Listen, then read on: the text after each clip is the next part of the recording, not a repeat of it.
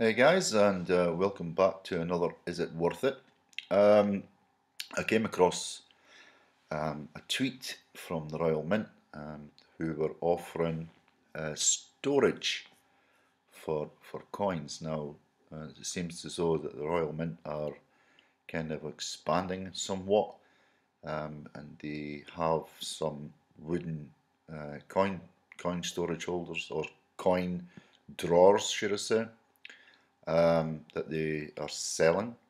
Um, they were quite expensive, about eight hundred and fifty pounds. Um, there is other other guys out there uh, who actually make these bespoke type things, uh, similar um, for about three hundred and fifty to four hundred pounds. So uh, for me, the Royal Mint are uh, kind of getting excessive in that respect. Um, and I, I had clicked on a link that brought me to their historic coins, or historic sets, should I say. And uh, I was just having a look through, and I wanted to, you know, kind of look through all this. So here we see this one here, um, a 50 year sovereign set. Now, in this set, you will get a, let me just click on this, you'll get a 1968 uh, sovereign and you will also get a nice shiny 2018 sovereign. Both these coins are bullion.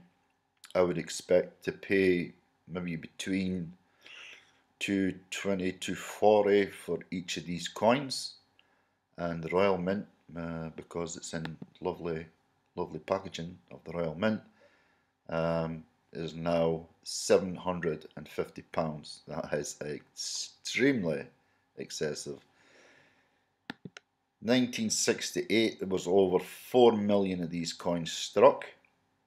Um, 2018, I've no idea, but there are a billion coins, so they'll be striking uh, forever and a day uh, of these coins. And um, this this brings me to, to my point of uh, like you know like one certain YouTuber who says that you know because it's in a packaging uh, it's got to be worth more.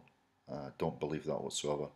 If you guys look around, a 1968 Sovereign and a 2018 Sovereign, you, you'll find you'll probably get pick up both for £500 roughly.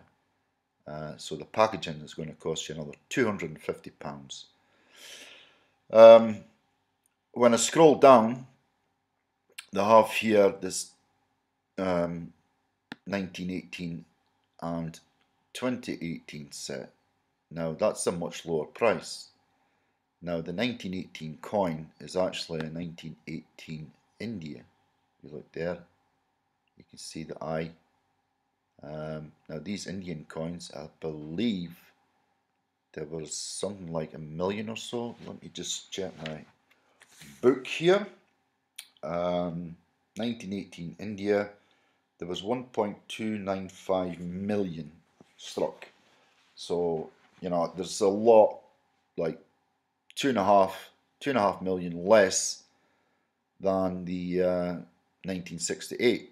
So why they're asking for so much more, uh, and they're actually saying it's available in limited numbers. Now, if it was limited, then you would think to yourself, well, you know, according to some people, limited mintages, smaller mintages, uh, they'll be worth more uh, but that doesn't seem to be the case. So 695 for that one and 750 uh, for a 50th.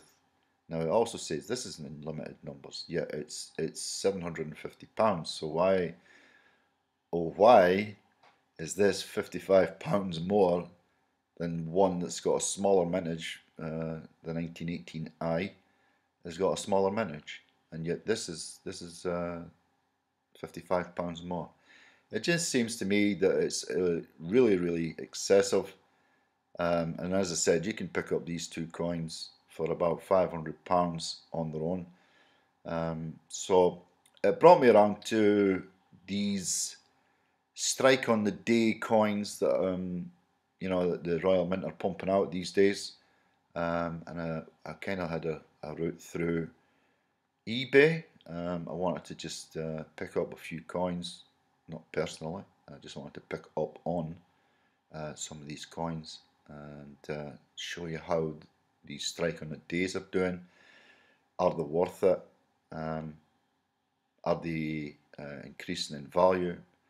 Personally, I don't think they are increasing in value. I think um, some people just can't see green cheese without wanting something. And uh, I think that's all it's all about. It's uh, about greed and, um, you know, fever pitch, hype, uh, hype from YouTubers. Um, and uh, I wanted to just pick up on some of these. So what I'm going to do is I'm going to go through a few of them, uh, some of these strike on the days, and uh, let's have a look at how they're doing. So the first one I wanted to look at, or the first one that I found, was this uh, 2017 struck on a day Sapphire Jubilee. Um, now everybody knows the London Coin Company. We all know how excessive they are in their prices. Um, what surprises me is that people actually buy from this guy and that this guy is still in, in business because his, his stuff is crazy, stupid, excessive, um, and even the postage. I mean, £50 for postage for express delivery within the UK is absolutely insane. Um, so here we see this one here for a thousand pound virtually and uh, 50 pound for postage um, and now um, I found one that recently sold on eBay exactly the same coin uh, sitting in exactly the same uh, mint packaging. And uh, here we go. 399 pounds. 400 pounds call it. So there's 600 pound difference uh, on this coin. So you could see um, now I have no idea how much this cost on release. I would think if we're looking at how the other ones have come out I would think about 450 to 500 pounds. Um, and if that's the case then this uh, this guy here has lost money. Um, now we're always told from some YouTubers that these coins are the in thing. They'll be doing great. 750 mintage. Um, now if I remember rightly the 200th anniversary of Queen Victoria was that 650 mintage or so. Can't quite remember what that mintage was. But here you see the difference in what, you know, of what somebody actually values this coin at. One bid, and it has no interest to anybody apart from one bidder. 3rd of June 2019, so that's this month. Um, and this coin's two years old. Now, if you think about it this way, what are other coins going to do, you know, when, you know, people like uh, these YouTubers tell you that this coin is going to do fantastic, it'll be this, that, and the next thing, it's going to be the best thing since sliced bread, in two years, five years, it's going to be worth X, X, X, X. Um, sorry, it's not. It's just a gold coin with the little pimped out privy saying it's the Sapphire Jubilee and blah, blah, blah. It's not worth more than its gold content. It's, uh, you know, maybe a little bit of packaging, and it seems to me that some YouTubers um, rate the packaging as much as the coin. Um, you know, every mint puts out a coin with packaging. They have to do, but they don't charge like £200 for the packaging. So there you go, guys. There's uh, just one coin, uh, this uh, Sapphire Jubilee Strike on the day. Here you can see how excessive, I mean everybody, as I said, everybody knows how the London Coin Company are excessive anyway, but this just shows you what people actually value these coins at. Okay, we're going to look at another one. Uh, let me just get this. So here I wanted to highlight um, this coin here. Uh, 1979 Gold Proof Sovereign 40 year anniversary. Now, the anniversary was um, basically for uh, this was the first proof struck, I believe, since 1937. This was struck in uh, 79. I don't know why it would be a 40 year anniversary, that's 42 years. Um, just looking through it. Um, if you remember, you know, what people are telling you on YouTube, they're basically saying that these coins, these anniversary coins, will be worth X in so many years, in two, five years. Well, here's one here with 40 years.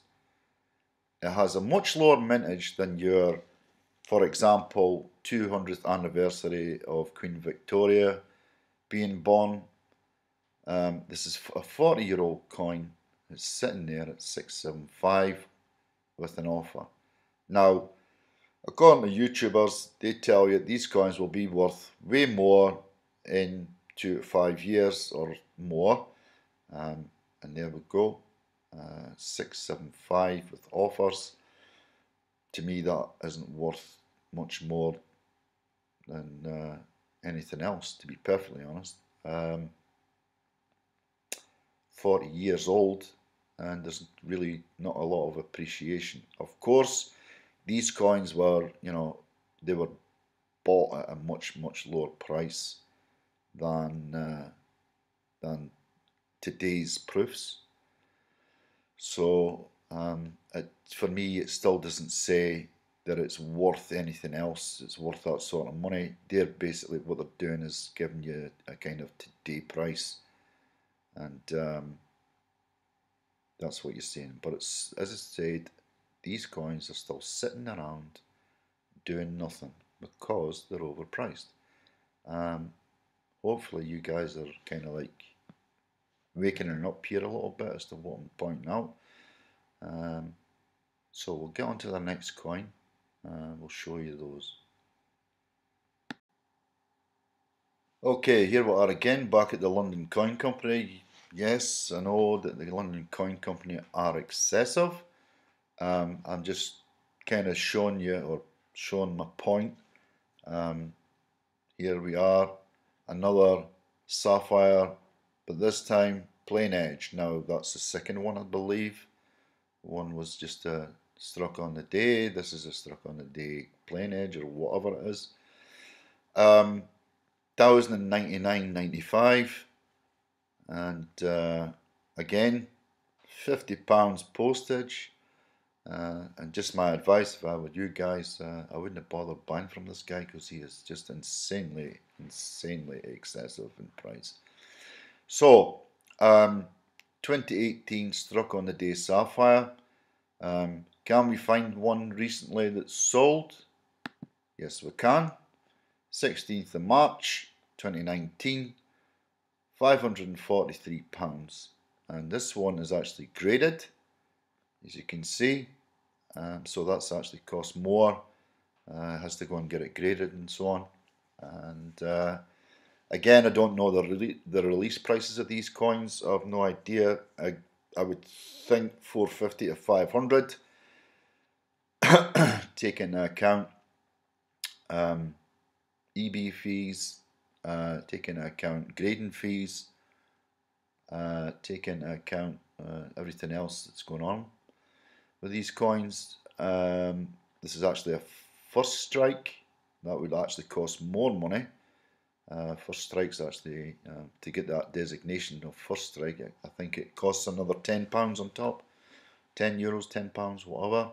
So that for grading would probably cost um, thirty pounds plus um, postage, shipping there and back. Uh, in my opinion, that is uh, a loss. And uh, as I said, these uh, these all these coins are we've been told are fantastic investments and the best things since sliced bread. And um, again, I'm just showing you that they are excessively overpriced, or at least the one from London Coin Company was.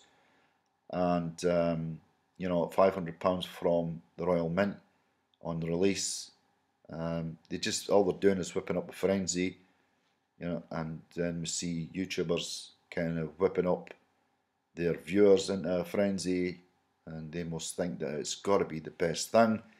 Um, but if you guys come back, and if you're looking for one of these coins, you come back in a year or two, you'll probably get it for less than the release price from the Royal Mint. And uh, just be careful with your money. This is what I'm saying. Be careful with your money. You can actually buy um, some really decent um, Victoria sovereigns or so. You can buy a really nice one actually for that price. And for this price here, you could probably get a really quite a rare one. Um, so uh, these rare ones will actually in increase in price other than these uh, modern day sovereigns that are getting pumped out with privies and so on. They will uh, increase more in price than these things will, that's for sure. Okay, what else have we got? Let's have a look and see what we can find. So here we have the uh, 2017 Pistrucci. Um, now, 630 pounds. This has just ended um, maybe about an hour ago as I'm recording. 630 pounds reserve not met. The buyer obviously thinks that this is worth more money. Um, pictures are really poor in my opinion. I think that'll be one of the reasons why this uh, this coin didn't sell. The other reason will be um, he's ended it really early, or he's he's made the finish time really early, uh, which was uh, quarter to nine uh, GMT time uh, or British time. Wait a minute, let me just get rid of this. And um, he's ended it really early. I personally would have put this on a Sunday end date um, at night it's like seven or eight o'clock at night. Um, I think that's his own fault for what he's done here. Um, the Pistrucci design, I do believe, will appreciate more. It has appreciated more. I think the release uh, the release price was four two five. I'm not mistaken. Um, so even at six thirty, uh, it is making money, and it's also ungraded. I think if you got a graded coin, you would be looking at more money. Now this is what I'm saying. This is the difference. This is a Pistrucci reverse Georgian Dragon. It was something different um, that the Royal Mint released, other than the normal junk that's coming out with privy marks, and that's why this coin is um, valued more these days um, than the other stuff. And as I've showed you, these 2017 Sapphire Strike on the days and so on crap, um, there's just nothing in them. This one is kind of one that, uh, in my opinion, will appreciate over time uh, because it was a different design. And that's the top and bottom. Now, this guy has relisted this one, I believe. So we'll just like check it. there you go. He's starting this one at £400. Um, the only problem for me is the pictures. They aren't great. Um, you can't tell if there's any scratches around on this coin because the pictures are pretty bad. So it's going to be a lucky dip um, whether this coin has any type of scratches on. Um, and if any of you guys are looking to maybe bid on this one, I would ask them for better pictures. And um, hopefully you can get uh, something out of that hopefully. So this so far is the only coin for me that will do anything in the coming years and you would be better to hold on to these. The mintage of these were also higher than, than any of the other ones that you saw. This was a ten and a half thousand mintage, whereas the Sapphire Strike on the day uh, was 750. The other the 2018, I think the 2017 was something like 650. Uh, and as you can see, in my opinion, this is uh, has a lot more value than any of those um, that we've seen, these pimped out privy ones. Okay, let's just have a little summary and see if there's anything else that I can find for you. So just a quick summary left here. Um, here you can see these uh, coins sitting on the shelves, uh, being unloved. This one's got 46 bids. Uh, this is going to be ending in two days. Uh, the rest are like buy it nows. Now, if these coins were on, uh, like a, say for example, an auction, you'll probably find that these coins will be worth way less. Um, as you saw, or as I showed you, there was one bid on one coin at 3.99, um, and in my opinion, that's probably where this would end up. Um, so, just in short, and just a little summary, don't take what YouTubers tell you that it's going to be rare and it's going to be this and it's going to be that. Um, not everything's rare. There's only one or two coins from the Royal Mint sovereigns, for example, that will rise in value. Um, I still believe the 2017 Pistrucci. Um, uh, I still believe the 2017 Pistrucci will be a decent coin. Uh, it has a different reverse all these pimped out privy coins struck on the days and so on, these for me are not um, worth this type of money. This here is still the hype. Give it another, give it six weeks, uh, another coin will be out, uh, which I've heard actually that the Royal Mint are going to be doing a different uh, finish uh, of the same coin here. So you'll be able to grab another one and guess what's going to happen to these prices and guess what's going to happen to the other one's prices. It's all going to be the same thing. It's just a big spinning wheel for the uh, eBay marketing team, the YouTube marketing team uh, of uh, certain certain YouTubers, and um, also the Royal Mint marketing team. All these coins, they are not worth this type of money. They are not worth this type of money. Uh, no matter how you look at it, I mean, check, check this out. 13 people watching this. Uh, I think this will probably be London coins though. Um, for some reason, he had, uh, I think you had like two, 10, 7, 10 coins or something like that. Um, and yet we were told by the Royal Mint that it was one per household. So how he's got that many? I have no idea. There you go, 425 struck on the day. Um, as you can see, these coins just aren't worth that money. Nobody is picking them up. Nobody is buying them. They're still sitting on the shelves. So there you have it, guys. Um, I'm hoping, I'm hoping that I'm bringing you guys some value. Now I do understand that there are guys out there that will buy everything sovereign. That's entirely up to you guys. But please try and get into the Royal Mint before you get onto the eBay because you're just feeding the machine. You're feeding these greedy people on eBay. You're just feeding them money, and all they're doing is going to be buying another two or three with their profits of another or of the next coin. They're just going to buy another two or three, and then they're just going to make even more money from you guys.